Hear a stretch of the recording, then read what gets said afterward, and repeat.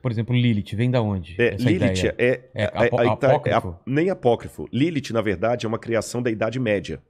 Ah, é? Não existe nada de Lilith ser a primeira mulher de Adão. Na Bíblia não. Na, na Bíblia, nem livros deuterocanônicos, nem livros apócrifos, Ah, é? nem em qualquer outra literatura.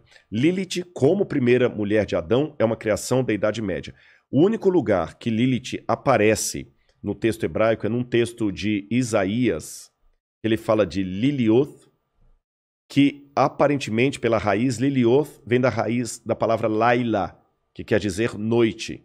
Então, Lilioth significa com criaturas noturnas, que alguns tradutores traduzem por coruja, É. é, lobo, criaturas da noite.